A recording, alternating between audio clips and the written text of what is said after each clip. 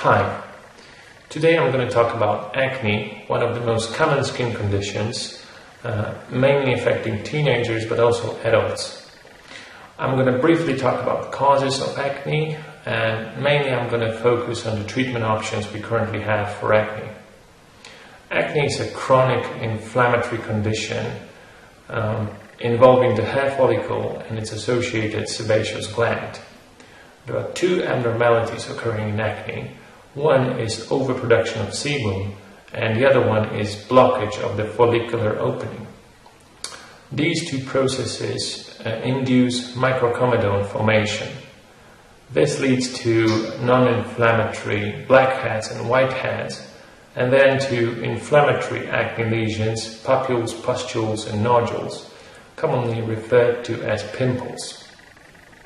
There's a step ladder for acne, and we tailor a specific treatment according to the severity of acne.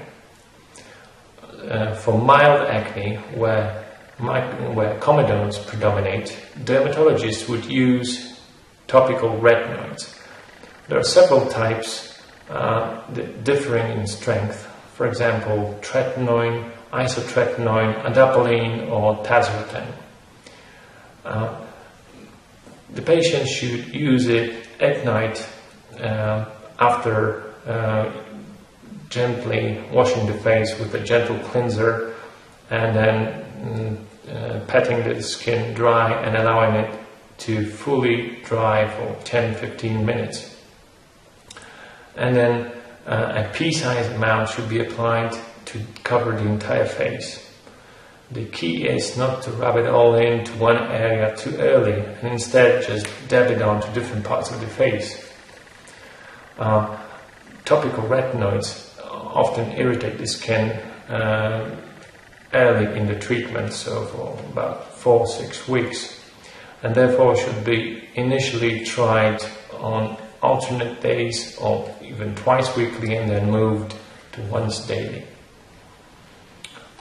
Uh, for mild acne, where uh, inflammatory lesions predominate, topical benzoyl peroxide can be used, and uh, initially it should be used on alternate days and then moved to once daily. Uh, also, initially it can be used in lower strength, uh, for example 2.5%, and then uh, titrated to 5 and 10%. Uh, topical benzoyl peroxide can also irritate the skin uh, and it can bleach clothing. For mild acne with inflammatory lesions, topical antibiotics can be used, for example, erythromycin or clindamycin. For moderate acne, uh, dermatologists would uh, combine topical preparations mentioned in the previous section uh, with uh, systemic antibiotics, for example, tetralysal or doxycycline or erythromycin. Uh, it should be noted that systemic and uh, topical antibiotics should not be mixed as it can uh, lead to increased bacterial resistance. For female patients, mm, oral contraceptive pill with anti-androgen effect can be used and it's especially effective against acne uh, occurring on the lower part of the face, the jawline, and the neck. Uh, and it's important to understand that patients respond slowly to topical treatments and systemic antibiotics. So it may take up to three months to see any effects of the treatment. So patience is encouraged. For severe acne uh, with nodules or scarring, uh, oral isotretinoin should be considered. Uh, it's a potent medication. It dries up sebaceous glands and prevents comedone formation. It's given as a six-month course, and vast majority of patients will clear. Uh, however, 20% may experience uh, some um, recurrence. However, uh, it's never as bad as the preceding acne. Oral isotretinoin is teratogenic, so it, it, means that it can cause serious birth defects, and therefore female patients of childbearing potential uh, must undertake adequate measures to avoid pregnancy during the treatment and for one month afterwards.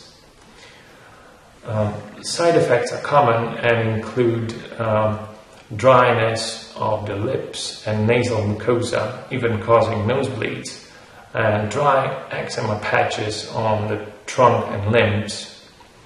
And these two side effects can be improved by using liberal amounts of moisturizing creams or emollients.